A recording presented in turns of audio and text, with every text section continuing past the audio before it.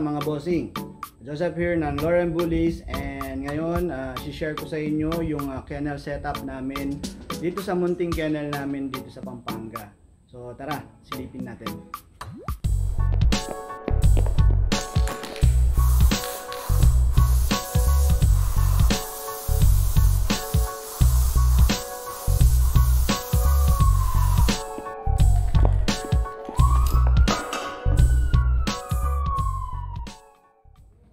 Bali ito na yung kennel namin. Uh, nandito lang din siya sa bahay.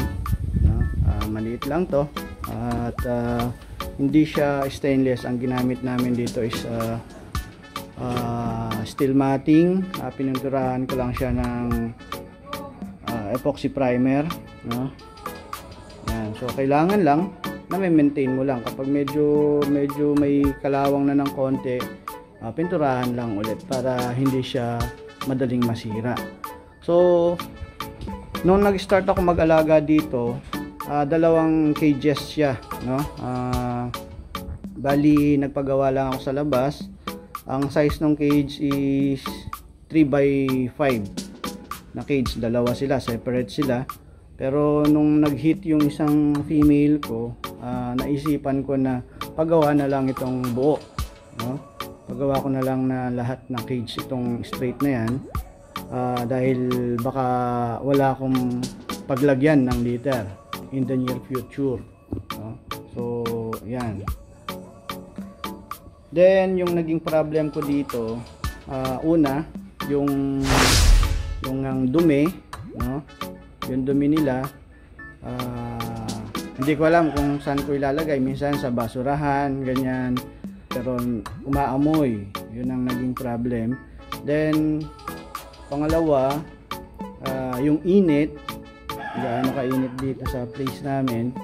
So naging pro- problem ko din yun. Then pangatlo yung mga lamok. Yan. Dumating sa point na kapag gabi maririnig mo yung mga alaga ko na umiyak sila dahil sa sobrang lalaki ng mga lamok dito at ang dami no yan, so binigyan ko solusyon yung tatlo na yon.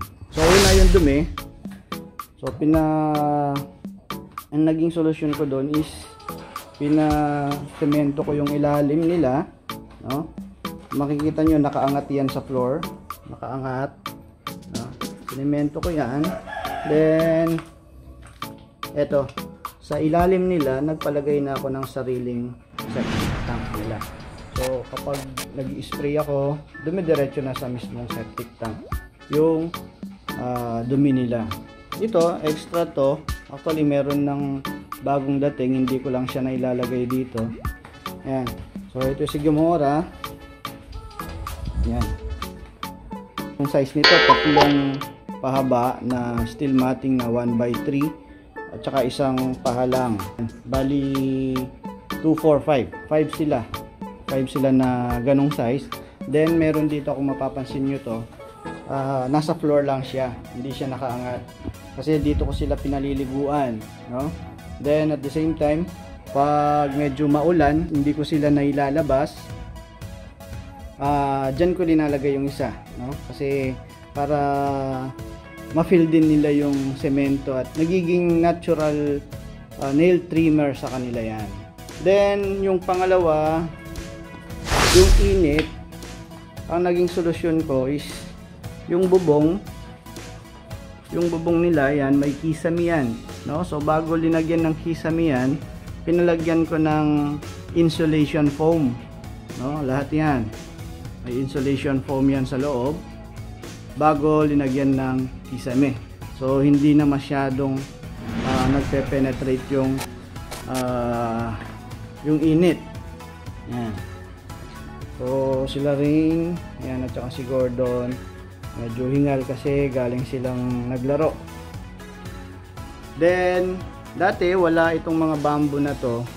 So naglagay din ako ng bamboo halaman para mag-shield dun sa init sa bubong. Yun. Yan. So kahit pa paano, uh, hindi dumidiretso sa mismong yero yung init. So na prevent yung init. At the same time dito sa side na to dahil malalamig yung mga halaman, nakakapagbigay ng lamig sa kanila. Okay? At kapag sobrang init talaga, ang ginagawa ko is binabasa ko yung flooring, no? Yan. Binabasa ko lahat 'yan. Then itong dalawa na to sa dulo, ang size nito is 7 mattings. Medyo malaki yung dalawa na to kasi ah malaki nga yung Rottweilers. Then yung sa gitna nito, ah, detachable yan. So kaya ginawa kong detachable yan dahil kulang nga yung space ko kung sakaling magkaroon sila ng liter. ah dyan ko ilalagay yung mga liters nila. Okay, para medyo maluwag yung ah, takbuhan nila kung sakali. Yan, so yung init nawala na rin dahil dito sa halaman at yung linagay kong insulation dun sa bubong. Yan. At pangatlo, yung mga lamok naman. Okay?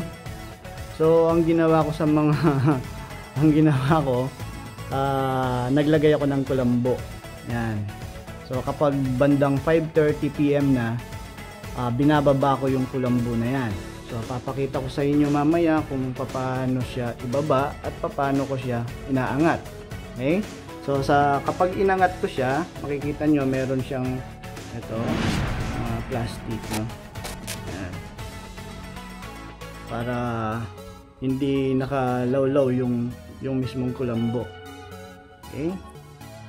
So, ang dapat lang mula sa taas ng bubong yung kulambo mo hanggang sa flooring para walang ah, papasukan yung lamok. Then, then sa likod, pader na siya mismo.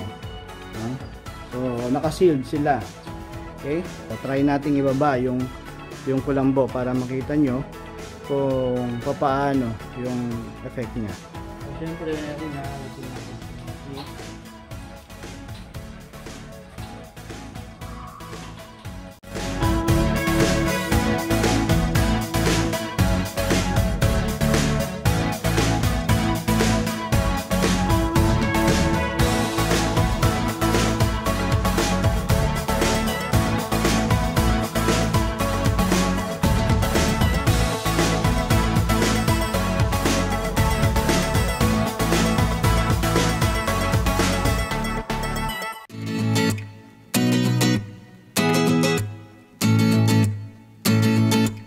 Talagay na yung ah, ah, mosquito net.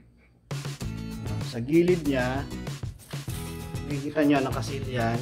Meron akong biniling pang binit. Yan. Ididikit mo lang siyang ganon. Okay. Then, pinatahi ko to. Pinatahi ko yung mosquito net. Dahil ganito lang yung size niya eh. Yan, kalahati lang siya. So, kailangan nilang pagdikitin yung dalawa para ah, sa sukat nitong front ng kennel. So, yan. Ah, meron siyang pulley. Meron akong linagay na pulley dito.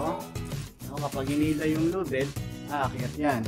At yung nakalagay dito is ah, tubo. No? Tubo yan. Pinasok ko dun sa kulambo. Sa ilalim din, nakalagay din is tubo. Kailangan naka-flat yan dun sa papatungan. Hindi siya nakapatong mismo sa flooring. So meron lang siyang patungan. No? Yan. Part ng flooring. Okay. Then sila. Then, bali dalawang part ito. No? Isang part doon. Isang part dito. So sa gitna, ang ginagawa ko na lang is inihipitan ko na lang ng pangipit ng damit. Hipitan ko lang yan. Okay? At ah, ganun din sa kabila, meron siyang pulley na nilagay ko sa labas. No? Ah, kung tinatanong nyo, baka masira dahil baka makuha ng alaga natin. Hindi nila ito makukuha kasi yung front ng cage is steel matting. No? Hindi nila kayang ipasok. Ah, hindi nila kayang ipasok yung ah, paa nila dyan. Okay? Okay, dun sa dulo naman, ganun din yung ginawa ko, pandikit din, no? Didikit ko lang din sa, sa gilid ng pader para nakasealed siya. Yan. Okay? So, may pulley din siya doon. Pulley siya doon. Okay? Hindi na sila lalamukin. Papakita ko naman sa inyo kung paano siyang iangat.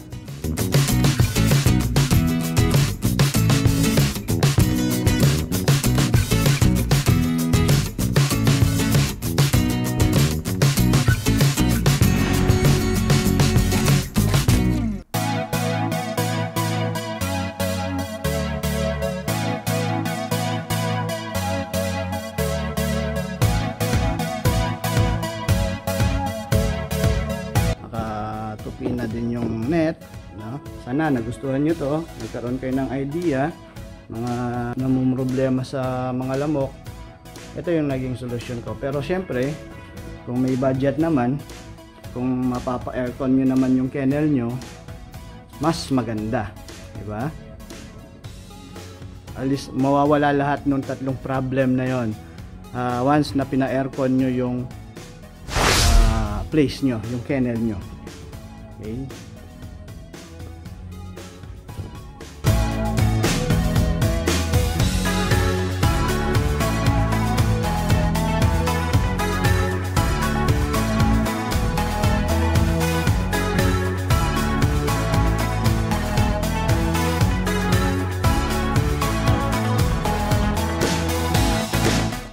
Sana nagustuhan at nakatulong ito sa inyo.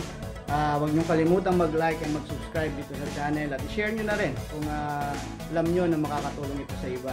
So, keep safe everyone. God bless. Doggy Matters.